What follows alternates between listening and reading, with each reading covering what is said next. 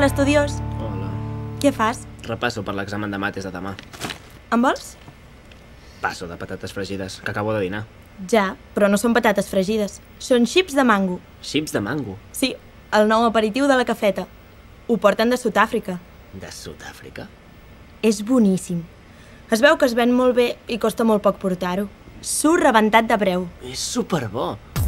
Ah, no, que acabes de dinar. Va. Mirem.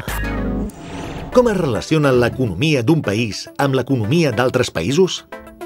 Produeix prou per cobrir el seu consum o ha d'importar? Estalvia prou per poder fer les inversions necessàries?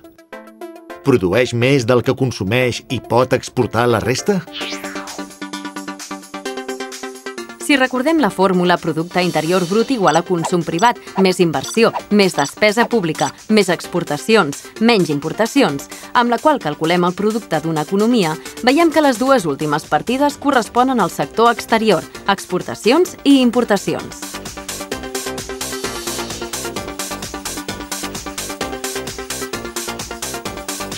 Si el saldo X menys M és positiu, voldrà dir que l'economia exporta més que no pas importa.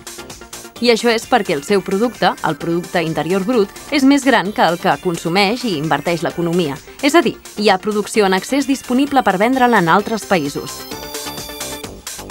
I a l'inrevés. Si X menys M és negatiu, voldrà dir que s'exporta menys del que s'importa. Aleshores, l'economia consumeix i inverteix més del que és capaç de produir i necessitarà importar per complementar-ho. Però, com es paguen aquestes importacions que superen les exportacions? Doncs amb l'estalvi de les persones d'altres països, és a dir, a través del sistema financer internacional. En efecte, si l'economia consumeix per sobre del que la seva capacitat de producció li permet, ho ha de fer endeutant-se amb l'exterior. Si una economia consumeix per sobre del seu producte, del seu PIB, voldrà dir que s'està endeutant amb la resta d'economies. I qui inverteix en el país ho fa esperant que en el futur li tornin allò que ha deixat. És boníssim, de veritat. Oi que sí? Mango fregit, de Sud-àfrica. I jo te n'he fet publicitat, eh? Si en aquest país poguéssim exportar una cosa tan bona com aquesta, podríem equilibrar la balança comercial. Què dius d'una balança? Si, per exemple, si el que em porta les taronges pel suc li pago el mateix que li cobro per vendre-li xorissos del poble, la balança entre ell i jo queda equilibrada. Doncs igual amb Sud-àfrica. Ho pesques? Jo no massa. I tu? No en dubtis.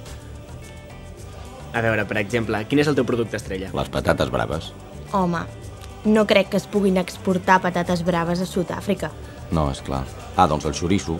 El porta ma mare de lleó. És per llepar-se'n els Ah, dits. doncs això sí que es pot exportar. Sí, no crec que tinguin xoriço a Sud-àfrica. I menys de lleó. Ei, doncs no seria mala idea, que jo en conec uns del poble que els encantaria el tema. Molt bé, jo piro, que ja és molt tard. I ja ho he entès. Apa, exportar xorissos. Ei, deies de debò això d'equilibrar la balança a base d'exportar xorissos a Sud-àfrica? Tu porta més mango d'aquest.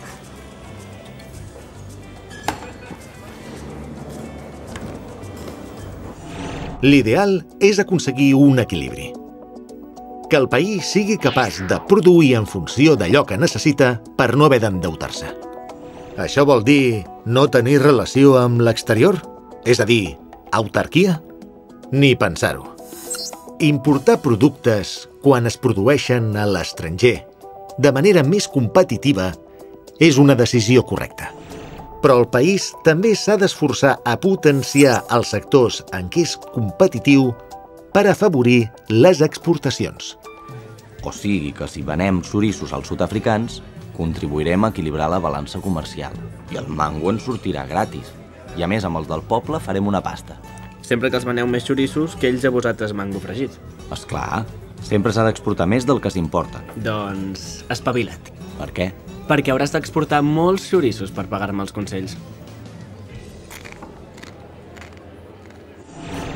És la balança comercial la que calcula aquesta diferència entre exportacions i importacions de béns i serveis entre un país i la resta del món. La balança de pagaments registra totes les transaccions de diners entre un país i la resta. Aquesta balança de pagaments ha de sumar zero, ja que si un país importa més del que exporta, la balança comercial estarà en dèficit i s'haurà de compensar per altres vies.